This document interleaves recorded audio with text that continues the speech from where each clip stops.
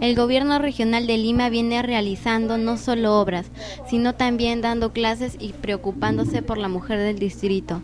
En esta ocasión, el distrito beneficiado fue Chancay, en el centro poblado Peralvillo, donde se viene dictando el curso de tejer junco. Junco que es aprovechado de nuestros humedales de Santa Rosa. Tal como lo dijo el jefe zonal del gobierno regional. Bueno, el gobierno regional de Lima, a través de la Dirección de Turismo y Comercio Exterior, viene desarrollando diversos talleres. Hace unas semanas atrás hemos tenido aquí en el Instituto de Chancay un taller de joyería en plata. Actividad similar se ha replicado en Guaral. Y en el tema del junco le hemos venido trabajando en los humedales de medio mundo. Todavía tenemos a las albuferas, ¿no? Parte de estos productos ya están exportándose a través de una organización como este GESOL y ahora que en Chancay hemos querido primero motivar, incentivar a las madres de familia para que puedan utilizar este producto como es el junco que lo tenemos aquí en las albuferas, acá en los humedales de Santa Rosa, ¿no? Entonces, eh, como gobierno regional de Lima le vamos a dar las clases, el adiestramiento por un mes, luego ya las presidentas de los comités van a tener que replicar en sus respectivos comedores. Diversidad de objetos, ¿no? Van desde los famosos sombreros, las canastas, las canastillas, como todo dicho, los tapetes. También se pueden elaborar este productos, eh, ¿cómo se puede? Eh, se pueden elaborar eh, productos artesanales, ¿no? Llámese caballitos de totora, hasta los cuchimilcos, ¿no? En base a artesanía, ¿no? En base al junco. Hay diversidad, pero acá ya depende de la creatividad que pongan las artesanas, ¿no? ¿Qué tan importante es para el gobierno regional apoyar aquí a las madres del distrito de Chancay?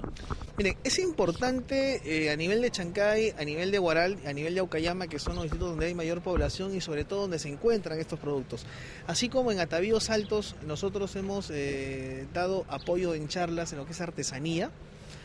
Acá en Guaral hemos dado joyería en plata, Chancay también y ahora en el tema del junco, ¿no? De acá vamos a ir al distrito de Aucayama, donde también hay este producto de Junco que está en el sector de Casablanca y donde están este, los baños de Bosa, ¿no?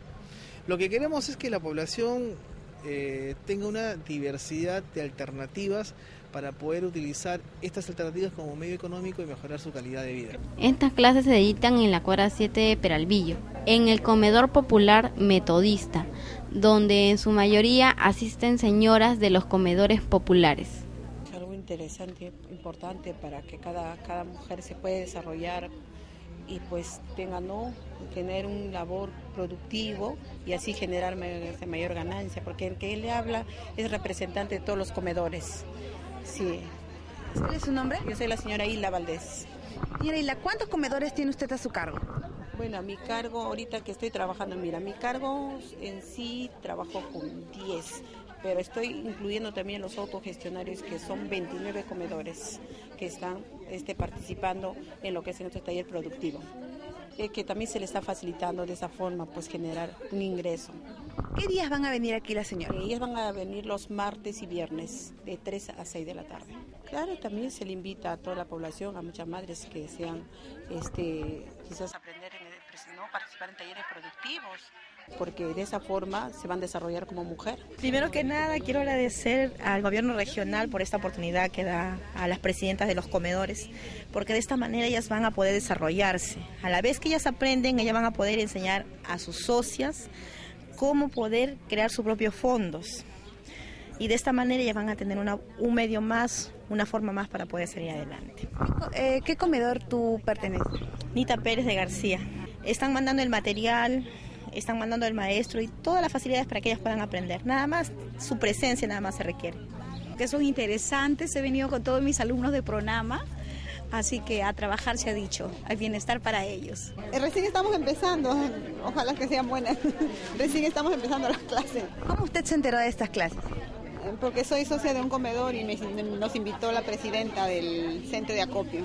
Que muchas gracias porque en realidad nos va a servir esto bastante a todas las madres que pertenecemos al comedor, que en realidad lo estábamos necesitando para poder este, apoyar de repente así a nuestra familia, ¿no? ¿De qué zona viene?